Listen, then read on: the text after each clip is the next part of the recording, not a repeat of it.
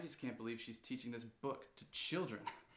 I mean, the whole time, let, let me just break it down for you. The whole time you're rooting for this, this Hemingway guy to survive the war and to be with the woman he loves, Catherine Barkley. It's four o'clock in the morning, Pat. And he does. He does. He survives the war. After being blown up, he survives it and escapes to Switzerland with Catherine. But now, Catherine's pregnant. Isn't that wonderful?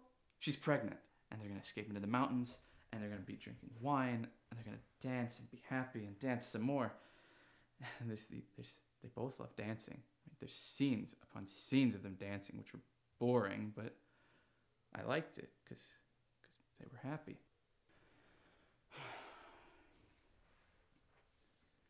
And you think he ends it there? No. He writes a different ending. She dies, Dad. I mean, the world's hard enough as it is, guys. It's fucking hard enough as it is. Can't someone just say, let's let's be positive? Let let's have a happy ending? Pat, you owe us an apology. For what, Mom? I, I can't apologize for this. I'm not gonna apologize for this. I will apologize for Ernest Hemingway, because that's who's to blame here.